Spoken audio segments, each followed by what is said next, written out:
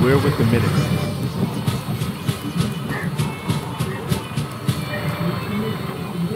I got word of a settlement that needs our help.